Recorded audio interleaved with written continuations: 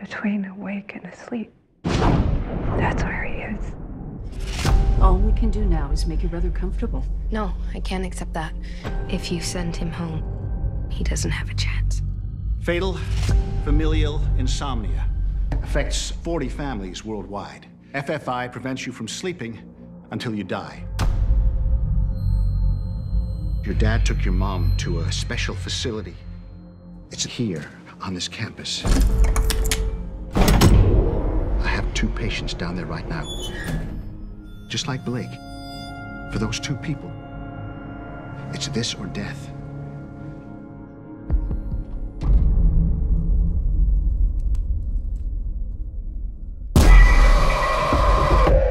Karla, I was watching the whole time. I didn't see any of that. You need to get some rest.